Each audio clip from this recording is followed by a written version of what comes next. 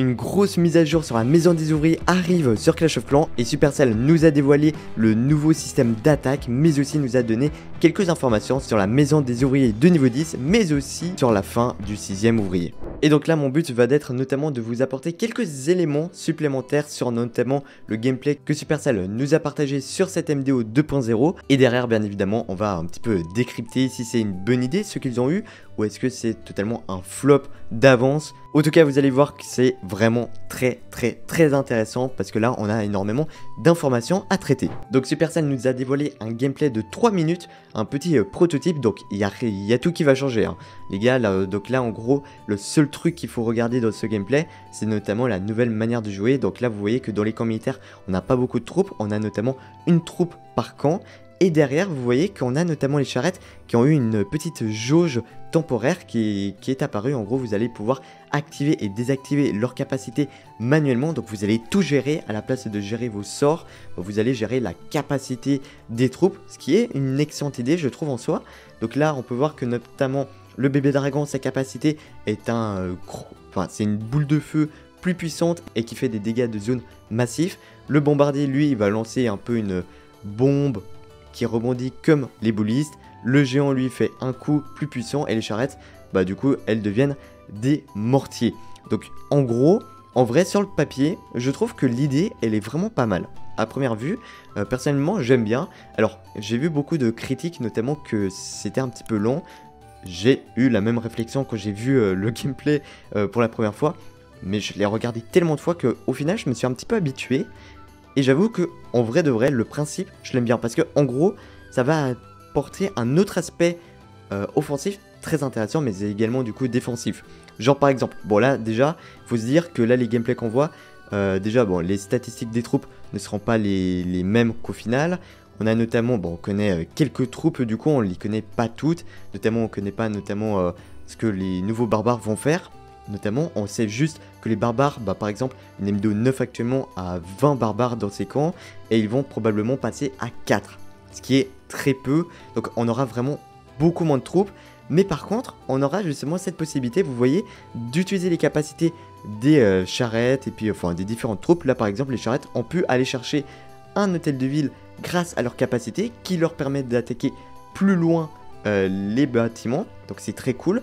Et notamment ce que moi par exemple, là directement quand je vois ce genre de gameplay que je trouve assez intéressant, c'est qu'on pourrait imaginer par exemple là en MDO5, commencer une première partie d'attaque avec euh, pourquoi pas un géant ou quelques barbares avec derrière une charrette, les barbares ou le géant qui servent de tanky, la charrette derrière qui va appuyer les dégâts, qui aura pour but d'aller chercher pourquoi pas une tour d'archère, et derrière la tour d'archère il y a pourquoi pas un double canon, et là par exemple bah, le double canon il va défoncer le barbare qui tank la charrette. Par contre la charrette, si vous utilisez sa capacité, bah, la charrette va devenir tout à coup bah, stable, elle ne va plus bouger, mais par contre elle va tirer de plus loin et donc le double canon ne touchera pas justement cette charrette. Donc en gros ça peut apporter d'autres stratégies d'attaque très intéressantes. Alors je ne sais pas si dans mon explication j'ai été clair, mais au tout cas je pense que ceux qui jouent un petit peu MDO vont très bien me comprendre. Moi en vrai, si vous voulez mon avis, je trouve que l'idée elle est bonne, mais il faut vraiment que Supercell trouve un équilibrage parfait et que derrière on ait quand même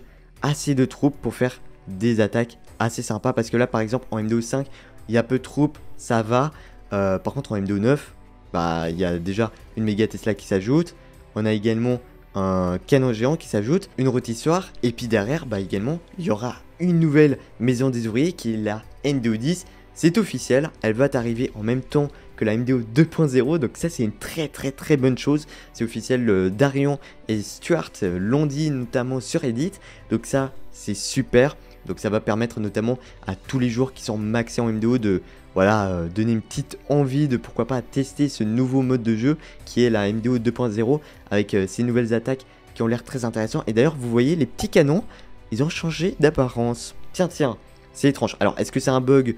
Euh, parce que c'est un prototype ou est-ce que c'est euh, justement pour nous dire qu'il y aura euh, quelques changements de design Je ne sais pas, mais en tout cas, c'est pas impossible qu'on ait quelques surprises lors de la sortie de la MDO 2.0. Et franchement, plus je vois ces gameplays, plus je me dis que là, en fait, ils nous ont montré un prototype et du coup, bah, forcément, sur un prototype, bah, t'as les animations qui sont pas très jolies, les statistiques ne sont pas les bonnes, il n'y a pas d'équilibrage, donc forcément c'est peut-être un petit peu mou là quand regarde, mais imaginons qu'ils mettent un gameplay d'une MDO9 sur, enfin justement une base défensive, une vraie base rush MDO9 actuelle. Derrière on a notamment un joueur qui se débrouille pas trop mal en MDO, qui euh, vous montre qu'est-ce que ça pourrait donner. Euh, à mon avis, ça peut faire vraiment un banger. Ce que moi je trouve aussi très bien avec ce nouveau gameplay, c'est que notamment ça se démarque de la capitale de clan à la fois, mais aussi de l'hôtel de ville. Ça ajoute vraiment une nouveauté, un nouveau mode de jeu avec un nouveau style d'attaque, un nouveau gameplay. Et franchement, je suis persuadé que Supercell sont dans la bonne direction. Bon, je pense que vous l'avez compris, personnellement, mon avis est très positif sur la question. J'ai hâte d'en savoir plus. Attention, moi, je, je dis pas que ça va être un banger, mais en tout cas, à ce que je vois des premières images, l'idée, je la trouve vraiment bonne et j'ai vraiment hâte d'en connaître un peu plus. Ensuite, je vous ai parlé notamment de la maison des ouvriers de niveau 10 et aussi du sixième ouvrier. Est-ce que ça va être la fin de celui-ci?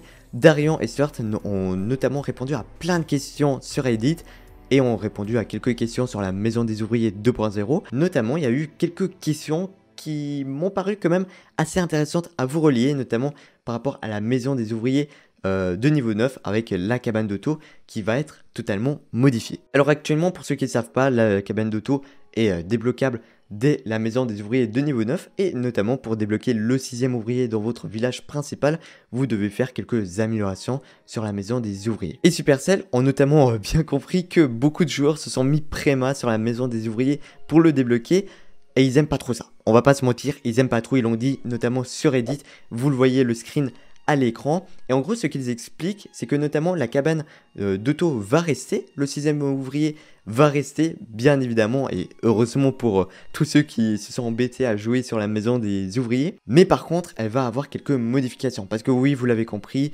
la maison des ouvriers va quand même être beaucoup retravaillée. On a notamment toutes les troupes qui vont être euh, retravaillées au final. Et donc en gros, ce qu'ils expliquent, c'est que pour débloquer cette cabane d'auto, il sera plus possible de se mettre en réalité euh, préma comme les gens le font actuellement. Ils vont mettre des critères pour débloquer la cabane un peu plus euh, vagues et puis qui demandent un peu plus de temps et en tout cas qui obligent les joueurs à ne pas forcément se mettre préma parce que c'est vrai que sinon ça détruit un petit peu tout l'intérêt du mode.